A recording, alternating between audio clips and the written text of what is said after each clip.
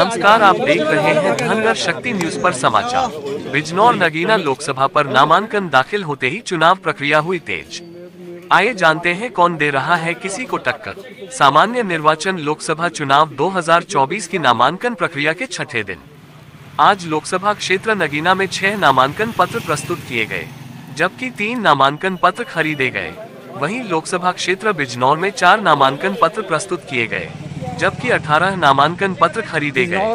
आपको बता दें कि बिजनौर लोकसभा सीट से बसपा प्रत्याशी विजेंद्र सिंह ने अपने समर्थकों के साथ कलेक्टरेट पहुंचकर अपना नामांकन पत्र दाखिल किया। जबकि नगीना लोकसभा सीट से बसपा प्रत्याशी सुरेंद्र पाल सिंह और आज़ाद समाज पार्टी के राष्ट्रीय अध्यक्ष चंद्रशेखर आज़ाद ने नामांकन दाखिल किया। कल भारतीय जनता पार्टी के प्रत्याशी भी बिजनौर लोकसभा सीट और नगीना लोकसभा सीट से अपना नामांकन पत्र दाखिल करेंगे। जिनके साथ भारतीय जनता पार्टी के उप मुख्यमंत्री केशव प्रसाद मौर्य भी होंगे और उनके द्वारा बिजनौर के नुमाइश ग्राउंड में एक जनसभा को भी संबोधित किया जाएगा। पुलिस सुरक्षा व्यवस्था के बीच नामांकन प्रक्रिया जारी है।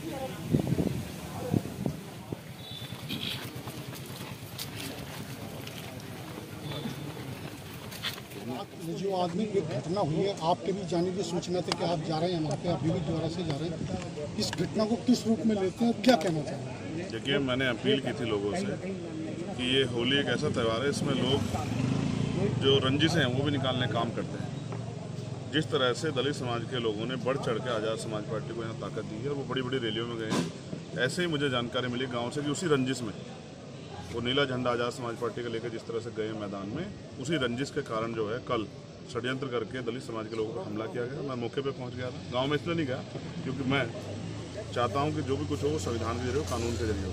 तो मैं वहाँ गया, पीड़ितों को ही उल्टा बंद कर दिया था। उनकी वहाँ के अधिकारियों से बात करी, यहाँ के जो एस सिटी हैं और एस पी उनसे बात की, फिर ऊपर अधिकारियों से बात करी और सबसे मैंने कहा कि भाई उन पर सख्त कार्रवाई करो। तब जाके मुकदमा लिखा गया यहाँ पुलिस मुकदमा लिख रही थी। मैं बिल्कुल सच कह रहा हूँ आप पता करा लो, घटना किस टाइम की और मुकदमा किस समय दर्ज हुआ।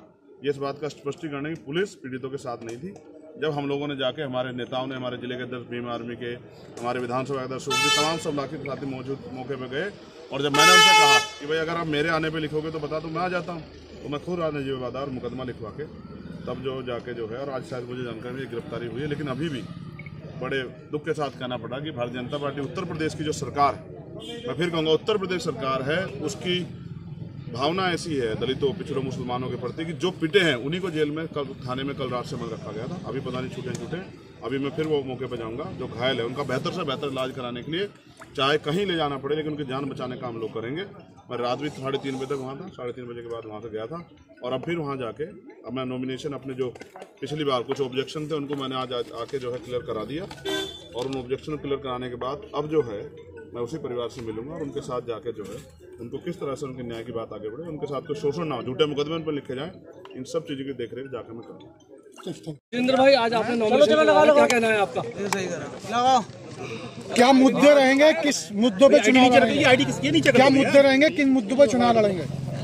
मुद्दा केवल विकास का है जनता को साथ लेके चलने का है। जो बिजनौर की लोकसभा के जो सारे क्षेत्रवासी हैं उनका जो मेरे साथ जो आईडी किसकी नहीं भाई थोड़े से उसको हमेशा साथ लेके चलना है उनके साथ रहकर।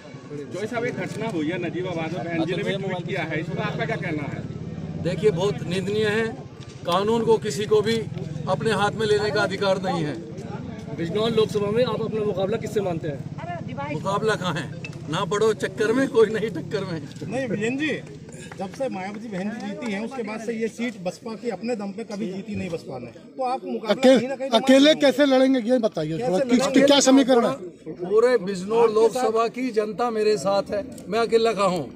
आप सब लोग भी मेरे साथ ही हैं। अच्छा ये माना जा रहा है कि आपको जाट समाज का नेता मान के यार आईडी काटेंगे? और बीएसपी के जो बेसिक वोट है उनके साथ आप जीत जाएँगे। तो इसमें क्या लगता है आपको? जाट समाज का कितना समर्थन मिलेगा? जाट समाज की वोट काटने का उद्देश्य नहीं है ना ही वो मकसद है ना ही जाट समाज की वोट कट रही है। वो हमेशा से मेरे साथ है मैं उन्हीं के परिवार का एक अंश हूँ और जितने भी जाट समाज में लोग हैं उनका आशीर्वाद बड़ों का आशीर्वाद छोटों का प्यार मेरे साथ है। जनता से क्या अपील आप जनता भारी मतों से मुझे जिताएगी, उनसे मैं यही आग्रह करता हूँ, जैसा उन्होंने मेरे ऊपर प्यार बना के रखा हुआ है, ऐसा ही हमेशा प्यार और आशीर्वाद मेरे ऊपर बना के रखेगा। मैदान में है? क्या कहना है आपका? ये तो मेरा रिश्तेदारी है मैं शकील भाई थोड़ी सी नीचे करो यार मुँह में दे रखे मुझे लोग प्यार करते हैं बहन जी ने मुझे आशीर्वाद दिया है और कहा है कि ये मेरा गढ़ है। और और तुम्हें जीत के आना है जाके बस आशीर्वाद ले लो मेरे लोगों को। अच्छा पुरकाजी से इधर आया आप रहने वाले तो उधर के ही हैं? नहीं मैं तो यहीं का रहने वाला हूँ बता दो दिया। तो उधर क्यों पहुँचे थे? नहीं नहीं पुरका जी ये गंगा के पार और ये रिश्तेदारी है हमारी ये घर है मेरा रिश्तेदार है। मैं समझाने में आ जाऊँ स्वयं जी पुरकाजी में जो आप लड़े थे विधानसभा चुनाव लड़े थे अभी पीछे जी। तो वहाँ आपको 12-13 परसेंट वोट मिला था लगभग। अब आज पिछले विधानसभा चुनाव में पूरे 403 में से एक सीट पूरे प्रदेश में विधानसभा में सब बसपा को मिली। आज की डेट में आप बसपा को किस पोजीशन में पा रहे हैं कि यहाँ आप फाइट दे पाएँगे? क्या उम्मीद है आपको? हाँ बिल्कुल। जो हमारे अकलियत के भाई थोड़ी सी थोड़ी सोचते कि सर, सरकार वो उनके साथ सपा के साथ मिलकर सरकार बना सकते हैं वो उनका भ्रम दूर हो गया है। अब वो बीएसपी को वोट देना चाहते हैं उसके साथ है एक तरफा। तो आपको उम्मीद है कि अगलियत का वोट आपको मिल रहा है? बिल्कुल मुझे मिल रहा है। किस अच्छा अखिलेश समाज के लिए आपने अभी तक क्या किया? हूँ और मुझे उनका आशीर्वाद मिल रहा है। हाँ जी।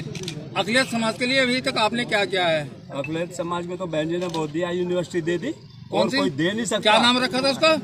उसका देखो नाम क्या रखा था? काशीराम। उर्दू फारसी। काशीराम। अच्छा उर्दू भारती काशीराम यूनिवर्सिटी ऐसा है बिजनौर से जो बिजनौर से बाहर के प्रत्याशी आकर जीतते हैं और बिजनौर के लिए कुछ नहीं करते। होता है पाँच साल में मलुक नागर यहाँ से बीएसपी के सांसद थे। पाँच बार मुश्किल से दिखाई दिए। आप आप आप बताइए। सुरेंद्र जी जी, जी। आप ये बताइए कि आपको मायावती जी लेकर पिछले बार रोगिना के लोगों ने अब उनको जिताया था गिरीश चंद जी को वो भी चले गए तो क्या इस बार आप नहीं मैं तो ऐसे निकल लेंगे? नहीं मैं तो यहाँ का आशीर्वाद लिया है और मेरे साथ हैं लोग मेरी रिश्तेदारी है और यही रहूँगा। और यहीं रहता हूँ। गिरीश चंद जी को भी आशीर्वाद दिया था जनता ने वो भी यहीं रहते थे वो भी दिखाई उनका टिकट क्यों काट दिया? मायावती जी नहीं तो, रहते ये ये तो बहन जी का पार्टी का मामला है इस बारे में मैं कुछ नहीं कह सकता। इससे मुकाबला मार रहे हैं नगीना लोकसभा सीट से? मेरे ख्याल से जनता जो है बीजेपी को नकार चुकी है और केवल बीएसपी का ही मुझे तो दिखाई दे रहा सारा बीएसपी का ही वोट है। सब